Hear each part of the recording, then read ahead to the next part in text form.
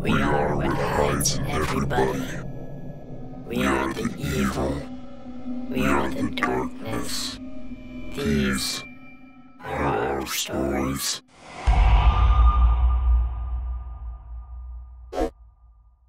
Well, good evening, ladies and gentlemen, and welcome back to Darkness Tales. Before we get started, I'd like you to take a second to hit that subscribe button down below. If you don't enjoy the story, you can always unclick it afterwards, but I promise you it's going to be one heck of a good time. Pilot episodes are always shot to try to get funding and interest in the TV show. Well, what if one of these pilots went horribly wrong? I bring you a creepy pasta titled The Magic School Bus Original Pilot. Okay, uh, don't worry about who I am. If you really want to know about me, just know that I'm risking a lot by posting this. If if you had a childhood, regardless of when you were born, you should remember the cartoon The Magic School Bus. It was a children's cartoon in the 90s where a crazy science teacher would take students on weekly adventures into places, such as into space or through the human digestive system. It was a rather harmless and educational show, which is the reason why it had been prominently shown to children since its premiere. What most people don't know about the show was that it was meant to fit into a line of horror stories for kids in a show that was never made titled Horror is Alive. The show, much like the Goosebumps television show, was about harmless horror stories, with three being shown in one episode. Despite this, the first episode underwent a complete overhaul during its production. What was to be the opening short was extended to a full episode length, after the writer and director of the episode went through a long, hard experience with illegal substances, which inspired the middle and end of the short, which uncoincidentally, is where the short takes a drastic turn. Everyone else, or at least most everybody else, were severely scarred due to the experience making it. Most quit after reading the script, but others were in desperate need of a job, whether it be they were animators or mere executives. A whole first season was written but completely abandoned after the first screening with the final blow being that the scripts were destroyed in what was once PBS Studios HQ after an arsonist, who is now believed to be the writer of the episodes, and again director of this episode, obliterated the building. The few who read the scripts claimed to say they were either too gory to air or too unnerving for children to enjoy watching. These people wish to remain anonymous and even remain scarred to this day. The first episode wasn't even ready to air before the concept spiraled horrifically out of control and terrified test audiences. Originally planned by PBS, it was designed by Melnitsa Animation Studio in Russia, and thus the original pilot episode was partially animated in Russia before the first screening. In the original episode, the doubting schoolchildren were brought onto a school bus. It originally did not have eyes, that transformed into a spacecraft and brought them into space, where strange things began to happen. That was the only description the people attending the screen had, so they had no real expectations for it. After the screening, PBS took the original idea back to the storyboards, fired everyone behind the pilot's production, and remade it with a well known employee into, obviously, the Magic School Bus. The episode was sent to me in a cardboard box by one of my online friends, who simply gave me his first name, Sergey. Sergey was one of the employees during the late 80s and into the latter half of the 90s. His job was merely just checking to make sure the VHS copies of the animations weren't distorted, or any lesser quality than the first generation VHS tape. He never told me this until I expressed interest in his old job which triggered him to spill everything. He's much older than me, uh, 43 years old. The method that he used to have obtained the episode was simply sneaking into the Melnitsa Animation Studios, which is now merely a shoemaking factory, and breaking through the safe in what was then where the animation was processed, which was untouched. There, most of the old animations designed by the studios were there. The episode was hard to find, but due to him having seen the original copy when it was sent to him, I could identify it. As such, the episodes start normally. The recut includes the original PBS episode 1, but the music is much different. With an infinitely descending Shepard's tone replacing the happy intro, the title screen is merely black with the words over what must be English subtitles that says The Sad Bus. After some research, I found that actually said, I cannot breathe. Which uh, makes a little bit of sense, considering it takes place in outer space, of course. The version I obtained was recut.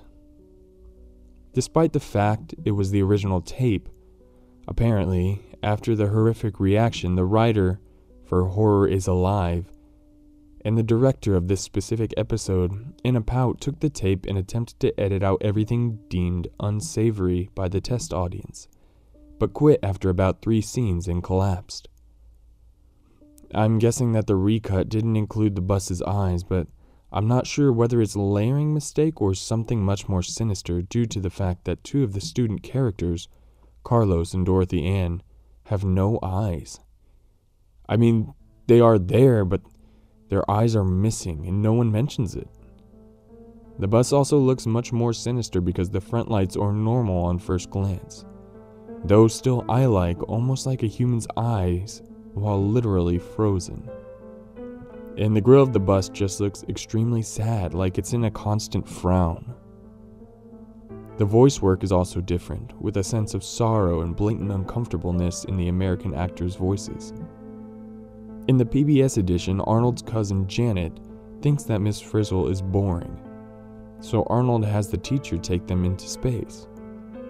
In this episode, going into space is where things become very messed up. Nothing but the original episode is here.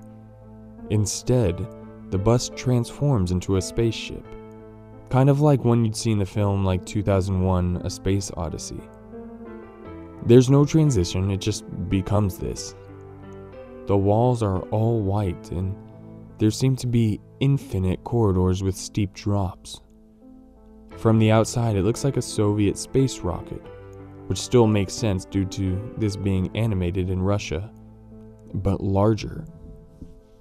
Arnold comments that this wasn't what he expected and he wants to go home. Janet and Carlos also seem equally confused, but Janet is smiling. Miss Frizzle says that there is an override lock on the ship, and nobody can leave until it has reached its destination. We are hurtling towards the sun. Miss Frizzle tells everyone that she can turn off the airlock and suffocate everyone, only jokingly before saying that she will put in the manual override, but it will take six months to reach Earth. After this, the screen begins distorting as the picture goes out of focus in a similar fashion to how the Max Headroom hijacking went into transmission during Doctor Who. An out of place slideshow then played over what sounded like an acoustic version of the Star Wars theme. The only pictures that were shown are that of planets, with each picture having some subliminally hidden disturbing human elements across the planet being shown. Basically, imagine the planet Jupiter having angry looking human eyes melded into it. Realistically, but not something too out of the ordinary for a skilled Photoshop user to have created. She suggests that everyone go into stasis sleep when a cancerous sore has developed on Miss Frizzle's face that nobody mentions. However, Miss Frizzle mentions that there are only 9 stasis beds and there are 11 people, including herself. She told them that she'll be fine staying up for six months, but one of the students will have to stay up as well. Ralphie suggests they draw straws. They do so, and Arnold is determined to be the one who has to stay up. Now, up to this point, the episode was bafflingly strange, but this is where the show descends into realms that I couldn't make up if I tried. After everyone goes into stasis sleep, Miss Frizzle tells Arnold that originally there were 30 students in the class, but 20 of them died. She tells Arnold that she is going into the upper airlock, where there is a separate bed, and she only told the students there were less beds because she didn't want them to face the idea that one person would be alone for six months. In addition to this, the time frame for returning home was actually two years. She leaves and locks the door behind her from the outside. After this scene, the same distortion effect occurs, as a long string of text appears saying, But what about Janet? several times. You could tell that time was passing by only because Arnold became more dirty as time passed. The nine beds line the walls, and there are porthole windows along with a control panel that is deactivated. The food that was left for him sits in one corner of the room, and he tries to ration it, but it only lasts him one month. He also has no means of a bathroom, so he urinates and defecates on the floor. After about two minutes, two months have passed, and Arnold is looking noticeably nervous and disheveled, yet hopeful. He's extremely hungry, more so than he's ever been. Ralphie's catchphrase, I think I'm gonna be sick, begins to play repetitively over the music track. I think it was meant to reflect Arnold's mind. But then Miss Frizzle begins to talk. You're hungry, aren't you? Arnold now realized the predicament he faces. He won't survive two years in this environment, and if he tries to kill himself by smashing a porthole window, he'll kill his other students.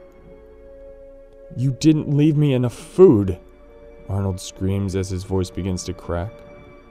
Several quick cuts of the spaceship from 2001 play about as rapidly as the human eye can blink. The voice begins to grow darker and more tinged and deeper. Oh, but Arnold, I did. The animation does a long, slow pan across the room with what looks like a stylization of wide angle lens pointing out the beds. And then the voice changes. I am your extrasensory nervous system. This is no hallucination, Arnold. I am you. The weirdest and most convincing thing about the animation of the original episode is that Arnold looks very similar to Miss Frizzle. One would think they are related.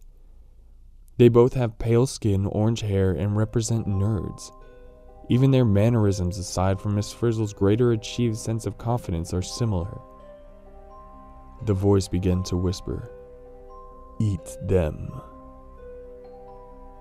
Miss Frizzle slowly melds into the background as Arnold's body parts slowly begin to shimmer, while seemingly grow subtly added scars. Arnold had attempted to analyze the space chart over the defunct control panel for some time, but only now, realizing that he was intentionally trapped here didn't make sense. The path wasn't leading to Earth. It was heading for a malformed black hole that had strangely appeared to the left of the moon. Through whatever means, the room was also becoming increasingly hot. So much so that Arnold had to take off all but his underwear. The unclean environment was forcing him to develop more scars and sores as he slept on the side in a mat before ritualistically taking Carlos from the bed so he could sleep there at night. That was when he made the horrible realization that none of them were breathing. Miss Frizzle hadn't put them into stasis, she euthanized them. It was only after he made this realization that a scalpel appeared near the door. Someone had opened it while he was sleeping and moved the bodies around. The words, Barrett, see, hope, are scrawled in English on the wall in marker. The increasing need to eat was more apparent now than ever. He looked at Phoebe. He secretly loathed her. This became all the more apparent as he took the scalpel and slowly cut into her belly. He was not at all hesitant now. This scene is the most disturbing because the angle never changes. His expression is always angry with cartoon stylized eyebrows. For an entire 60 seconds, he slices her open, eats her lungs and intestines, peels and eats her skin, then moves on to the face, slicing off eyebrows and the nose, leaving a shaved, skeletal corpse as the camera time lapses. The animation is different here. It's more specific, more layered, and more medical looking. Now the cancerous sores are visible on Arnold's face as well. The next day, the scalpel is removed. For the next month or so, he picks on the remains of Phoebe. The next time lapse seems more messed up, because now Arnold seems to have begun to hit puberty. He has nibbled on the ears and fingers of every student except Janet, because it's his cousin. The scalpel appears again, this time with the words, Amoral Scorn, written on the wall. Arnold talks to himself frantically. What does that mean? What does that mean? He picks up the scalpel and decides to who to eat next. He never liked Carlos either. As he undresses Carlos and begins to slice into him, the student ID falls out of his pocket. He says, Carlos Ramon. A moral scorn. Carlos Ramon. It was an anagram. Just as Barrett C. Hope was an anagram for Phoebe Terese's name. By now, the episode is almost over, and the screen begins to flicker as Arnold starts to gasp for air. You knew. Arnold begins to cry. The animation gets very choppy at this point. Two different shots are seen. In one, the school bus collides with the sun. In another, Arnold continues to eat the remaining students in order based on the anagram instructions. Since it's a time lapse, you only see the bodies and bones begin to pile up. He refuses to eat Janet, his cousin, before ultimately slicing his neck with the scalpel and killing himself. The cancerous sores envelop his corpse. Another scene was supposed to appear, but it was cut. The final shot before it ends is the words, you're gonna go bonkers in 1988. That phrase, to my knowledge, means nothing. The retrograde film begins to deteriorate before the Russian words appear that directly translates to Whatever happened to Janet? There's nothing else. The ship enters a black hole and there are no credits, and Arnold profusely screamed for three minutes that he couldn't breathe as a burning noise begins to envelop the back layer track. It goes on for a full three minutes. I tried figuring out what happened to Janet, but the only real clue is, I suppose, in the animation itself. I tried finding some information about the origins online, which I somewhat succeeded in doing. I only found out about it through articles about it in the deep web and a very old post on 4chan with two replies which expressed skepticism due to the lack of evidence. I didn't want to upload footage on of the VHS onto YouTube, Vimeo, or even Dailymotion because the gore and disturbing imagery was obviously going to get me flagged or banned on any of those websites. Sergey stopped messaging me everywhere I had him as a friend. I put the VHS up on eBay before being hit with $600,000 notice from the PBS company. I got sent a very threatening email that told me my life as a professional contractor and plumber was basically over if I ever released that VHS to the general public. They insisted it was merely a prank regarding some of the employees working on the Magic School Bus having fun. But I knew that the backstories, the voice actor's sorrow, the Russian text, the attention to detail, and the matching details regarding the backstories and actual tape was all too much evidence to believe this. I told them that I had destroyed the tape to cease the harassing phone calls and letters affectionately addressed to Super Fuckface Mario, as evidently my plumbing profession had ruffled the feathers of some of the higher ups. They weren't clear what would happen if I continued. Besides, they would subtly ruin my life layer by layer. I still have the tape though. It's in with my old college stuff. It'll sit there for days. Days will become weeks, months, and then years. And the tape will still be there. They'll have to pry it from my cold, dead fucking hand. But there's only one more question that remains on my mind. What happened to Sergey?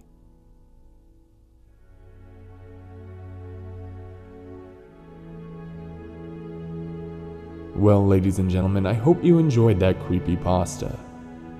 Don't forget, if you did enjoy it, to make sure to hit the little thumbs up button down below and give us a like. Also, leave a comment. These things greatly help my chances of having the video viewed and allow me to produce more content for you all. And remember, have a terrifying evening.